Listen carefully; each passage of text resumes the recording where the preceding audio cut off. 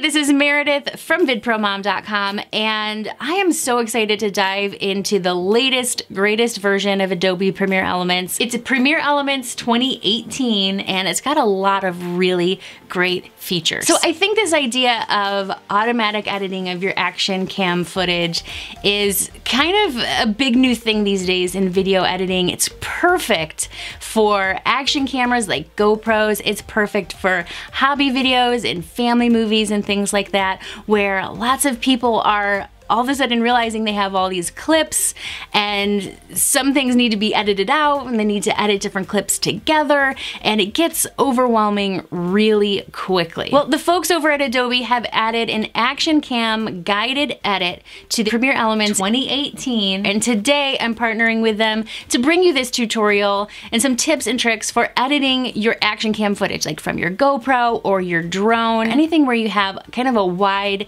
angle lens. I'm going to to show you the smart trim function, which I love. That's that kind of automatic editing that I was talking about. We're also going to talk about the lens distortion removal. So if you have a super wide angle and you're not really liking that fisheye effect, you can actually reduce that within Premiere Elements 18. And then we're gonna talk a little bit about color correction. The Action Cam guided edit keeps it really simple and easy for you because color correction can be a little bit of a balancing act. I will probably do a dedicated tutorial on color correction. So today we're just gonna keep it nice and easy. But do make sure that you hit that subscribe button so that you can get my future Premiere Elements tutorials when I publish them. I got more coming at you, so let's stay in touch here. And if you are totally new to Premiere Elements and video editing in general, I have a cheat sheet for you that you can either download and print out or save it on your tablet or your phone for easy reference. This covers the basic steps of what to do when you first start a project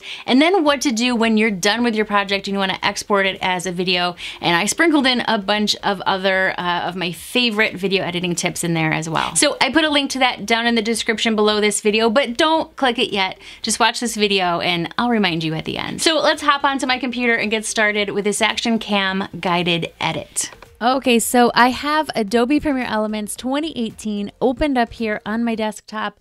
Um, now I'm on a Mac, but if you're on a PC, don't freak out. It should look exactly or pretty much exactly the same for you. So up here across the top, um, if you're not familiar, we have the quick uh, edit mode. This is a really simple timeline. This is great for just getting started with the project or if you're brand new to video editing. And then there's the expert edit mode, which looks a little bit similar, but you do have more options and special effects and things like that available. Uh, but today we're going to stick right here in the middle in the guided edits section. So um, we are going to actually come here under video adjustments and then this one for fix action cam footage that's the one that we want. Now one of the great things about the guided edit feature here in premiere elements is that uh, it walks you through step by step everything. It shows you exactly where to click and what to do. So you really can't mess anything up.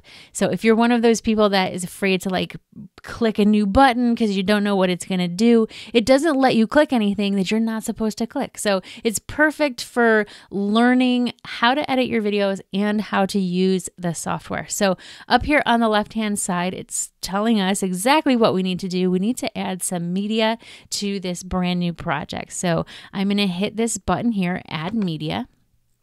Now I have, um, I know I have a GoPro file here on my desktop. I'm going to import just this one file for right now.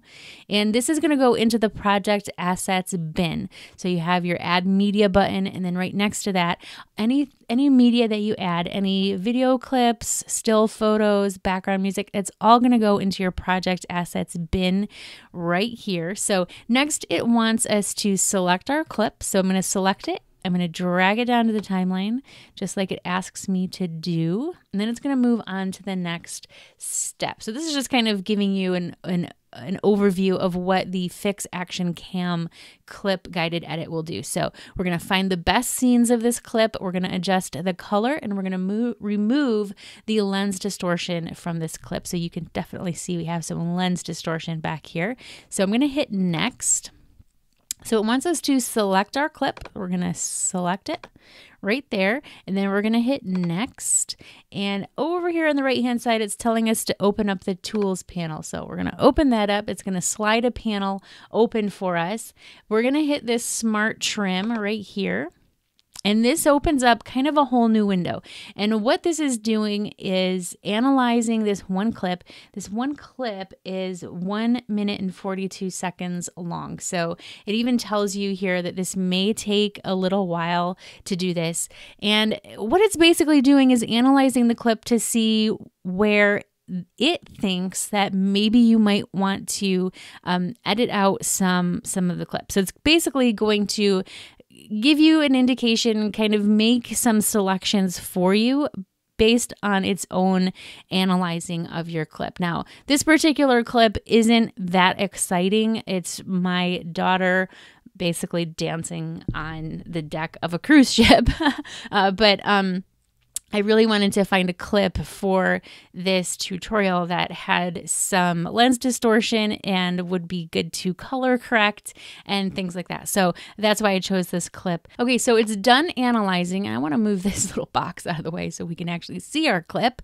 So it's done analyzing and what this did, you can see that we have these little blue boxes these are the selections that the software has essentially made automatically and said we think we think these are the clips that you should keep in your video. You can see how much it actually said, you know, maybe get rid of this. So where it's uh, grayed out here, um, this these are the parts that would be edited out of our final video. Now, just to note, it's not really editing anything out of your original footage, right? You still have those video files. Um, as long as you keep them on your hard drive, they'll be intact. It's not like actually cutting them up or anything, right? This is just for the project. Now, this tells us we can fine tune things manually if we want to. So I just hit this little, uh, this little box here, the little video camera box, and you can take your little hand tool here and you can adjust these things. Now, one of the things I really like about editing videos this way is that you're focusing on what you want to keep in your final video instead of just throwing your clips on a timeline and trying to figure out what you want to edit out, right? So this is letting you focus on what you want to keep in your final video. Of course, you can go in and, and still make trims and cuts and edits and things like that. Um, but this is kind of a good first step step to getting a nice rough cut of a video, just kind of keeping the best moments of your clip here. Um, so we can make these manual selections if we want to. Um, we can also, um, we can come over here and we can say, you know, it, it analyzed it as if it was an action clip. Mm, I don't know if it's really considered an action clip. So if I come over here and hit people, it's going to warn me that these scene selections will be removed, not the actual, you know, clips, just the selections will be removed. Do I want to continue? I'm going to hit yes. Now it almost like re edited it for us. It said, Oh, you want to focus on people instead of action. And now it has selected some clips that are more focused on the people in the video. And if we select mix, then it's going to give us a little bit of a mix of both. So, um, and then, like I said, you can just you can move these if you want to make some manual adjustments. So I'm going to leave everything as is. Okay, this is a, got giving me a lot of a lot of selections here to work with. I'm going to hit next. Next, it wants me to preview. So we can preview the selections that it has made for us here. Now, this is a little bit choppy. The playback on my computer is always really choppy when I'm also recording a screencast. So, makes it a little bit difficult. So, I'm not going to preview this whole thing um, because it's just not going to work real well. So, I'm just going to hit next. And next it wants us to hit this export merge button down here on the bottom right. So you do have two options. Um, the export merge is going to take all of these blue selections. It's going to export it back to um, that main timeline where we started. And it's they're all going to be together as one clip. If we hit export individual, then each of these individually will be exported as individual clips. So it's asking us to export merged. So I'm going to hit export merged. And you can see we're back to our main timeline here. And all of those clips are now edited into one clip. So the next step here, it says that we should remove some lens distortion. So I'm going to hit the effects button here like it's telling me to. And it's asking us to take this lens distortion effect right here and drag it down to our clip. So that applies the lens distortion to our clip and you can see that it actually did a little bit of work for us. I still need to move this window around. It did a little bit of the work for us. It it went to a negative 20 here. So it tells us to move the curvature slider to the left um, to remove the fisheye effect. So um, we can do a little more if we want to. We can do it less if we want to. That looks a little too far. You can see it's kind of curving up a tiny bit. So I can go back uh, just a little ways and see if that's any better or any different. I mean, that doesn't look too bad. I think it's all right. You know, it really depends, you know, how you want your footage to look, right? So some people really like that um, fisheye effect. Some people don't. I don't really mind it usually. But when you do have footage of something that you know is supposed to be a straight line, like a railing like this, then sometimes it does kind of look, you know, a little bit awkward. So I think I'm just going to stick with this uh, negative 20 here and we'll, we'll go with that. I think that looks fine. I'm going to hit the next button. And now I'm going to move this again. Um, it says to hit this adjustments on the right hand side. So I'm going to hit that. This opens up another menu for us. We want to hit color. And then it says select the appropriate hue, lightness, and saturation from the presets. So what these are here is they're presets. So um, if we wanted to adjust the hue of this particular video clip, I could hit this purple one. It's going to make things look a little bit purple. If I hit the green one, it's going to make things look a little bit green. Um, I don't think I really want to mess with the hue on this one, so I'm just going to hit reset. It's going to go back. It's got that nice, beautiful Caribbean blue color in the background there. Um, lightness, we can, um, let's see, if we thought this was too light, we could darken it up just a little bit a little bit more if we wanted to. Um, or if we thought it was a little too dark, we can lighten it a little bit. That was like a little too far. So I'm going to just stick right here in the middle. And then under saturation, if we wanted to take a lot of the color out, we could hit this one in the bottom right.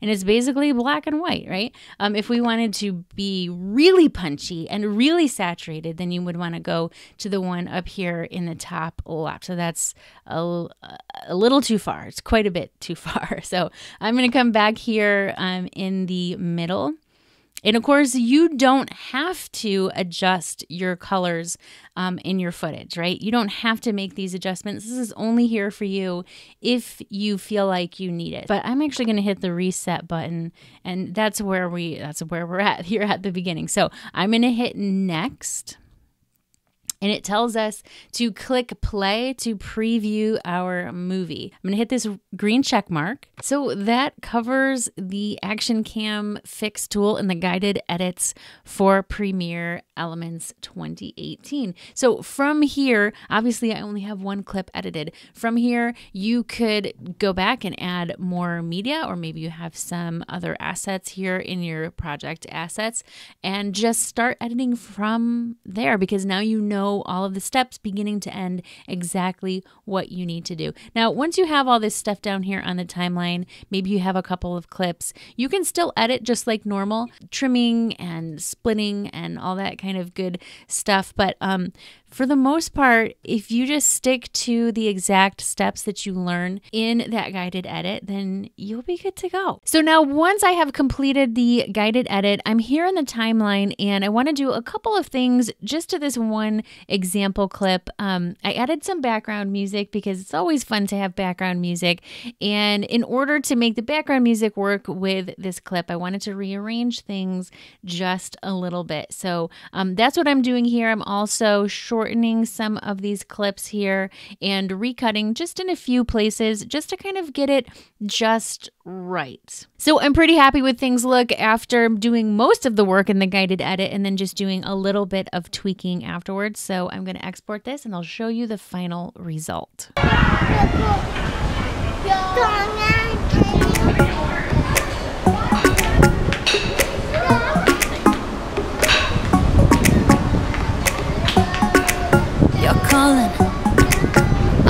I'm. Don't know what it is you do to me. Yeah, where you go, I follow. Let's go out and dance the night away. Like one, if you haven't looked at Premiere Elements 2018 for your video editing, I highly recommend it. It's perfect for beginners, but then there's advanced functions as well. There's a link down in the description below this video so that you can get a 30-day free trial. You don't even have to put in your credit card. Just download it and give it a test drive. Just follow my cheat sheet for getting started. I linked to that down below. I told you I would remind you. With that, plus knowing how to use the Action Cam guided edit, you'll be good to go. So hit that like button if this video was helpful for you and let me know in the comments if you have any questions specific to Premiere Elements and if there are any tutorials and how-tos that you'd like to see from me in the future. And don't forget to hit that subscribe button so that you actually see my tutorials in the future. Thanks for watching. Bye!